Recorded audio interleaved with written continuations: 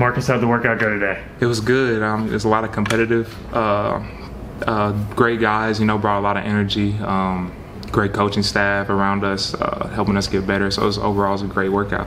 What did it mean to you to work out for the Pacers specifically? Uh, you know, it means a lot, especially since this is my last workout. Going through this process, um, having the hometown team, you know, call my agent, having me come work out means everything. Uh, growing up, coming to Pacers games, watching all the guys, you know, it's just a dream that I had since I was little.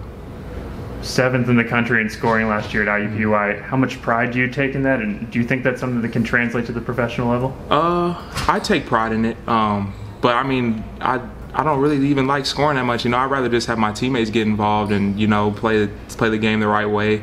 Um, they just had to look to me because I was one of the main options. Um, but I, I, do feel like I can translate it to the next level. I mean, not as high as I w- was in college at 20 points, but you know, definitely double digits. What kind of role do you see yourself playing in the next level? Uh, definitely three and D. Uh, you know, I've been working on a lot of my defense this offseason, getting my hips stronger, lateral quickness, uh, more tenacity. So I feel like my defense has improved a lot.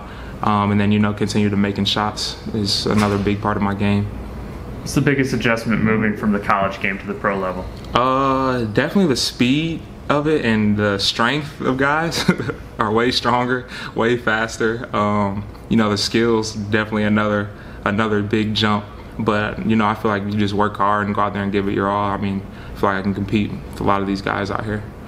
I'm sure you know George Hill's the only IUPUI player that's made it to the NBA so far. Mm-hmm. What would it mean to you to follow in his footsteps and, and make that two Jaguars? Uh, it would be it would mean a lot to me. Uh, I talk to George sometimes actually, so I mean I know he's rooting for me. Um, great great person, great dude. So uh, you know hopefully I can I can make it.